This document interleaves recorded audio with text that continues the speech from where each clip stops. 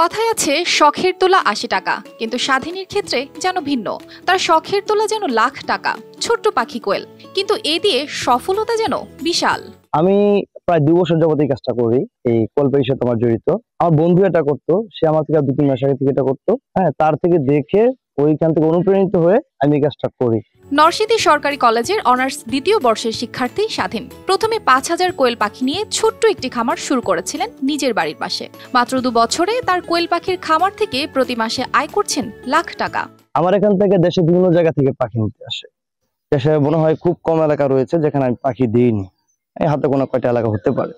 আমরা মহিলা পাখিগুলি দেশে বিভিন্ন জায়গা থেকে এসে নিয়ে যাই। আর পুরুষ পাখিগুলি আমার সিলেটে বা আমাদের মাংসের কোনো দোকানে আমরা সেল করি এবং বিভিন্ন রেস্টুরেন্ট এটা চলে। পাখির চাহিদা অনেক বেশি। এইবার আমরা এটা বাড়াতে পারতেছি না। আমাদের এখানে চল্লিশ পঁচিশ পাখি দিয়ে হয় না। আমার এখানে পাখি মানুষের চাহিদা প্রায় আশি নব্বই হাজারের মতো। বর্তমানে পারুলিয়া গ্রামে গড়ে তোলা তার খামারে প্রায় পঞ্চাশ হাজার কোয়েল পাখি আছে। এখান থেকেই তিনি দেশের বিভিন্ন প্রান্তে খামারিদের কাছে পাখি ক্রয় করেন এবং প্রতি মাসে লক্ষাধিক টাকা আয় করেন। তিন মাস যাবত কাজ করতেছি এবং আমি এখন কোয়েল পাখির দেখাশোনা করি। আমি পরামর্শ নিতেছি স্বাধীন ভাইয়ের কাছ থেকে কীভাবে খামার করণ যায় যিনি ভবিষ্যতে আমি একটা খামার দিতে পারি।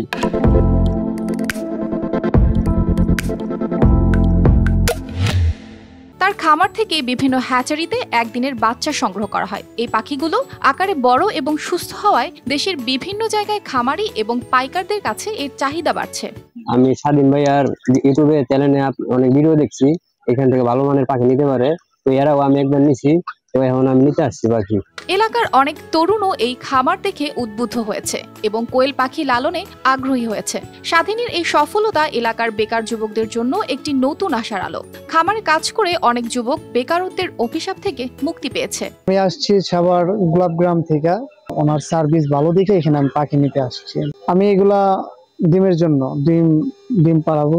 পোল্ট্রি খামারের তুলনায় কোয়েল পাখির খামারে খরচ কম আর লাভ বেশি। এই কারণেই দিন দিন নতুন খামারের সংখ্যা বাড়ছে। পোলট্রির চেয়ে কোয়েলের লাভজনকটা কেন? আসলে ক্ষুদ্র বার্ডেদের মর্টালিটি রেট খুব কম।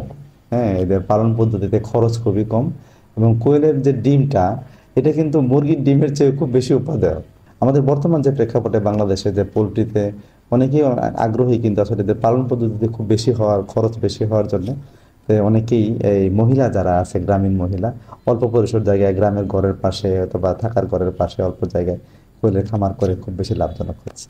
যুবকদের পরামর্শটা হলো আসলে আমরা যুব উন্নয়ন থেকে যে সমস্ত ছেলেরা আসলে প্রশিক্ষণ নেয়, তারা আমাদের প্রশিক্ষণের পরবর্তী সময় অনেক আগ্রহী হয়। কোয়েল পালন পদ্ধতিতে আমরা তাদেরকে প্রশিক্ষণের ব্যাপারটাই মেনলি দেখে থাকি আর টেকনিক্যাল সাইডটাও তাদেরকে আমরা একটু জ্ঞান দিয়ে থাকি। কোয়েল পাখির মাংস ও ডিমে প্রচুর প্রোটিন থাকায় এর চাহিদা দিন দিন বাড়ছে। যদি এই খামারের বিস্তার ঘটানো যায়, তাহলে দেশের প্রোটিনের চাহিদা মেটানোর পাশাপাশি খামারিরাও লাভবান হবে। নিউজ ডেস্ক, আর টিভি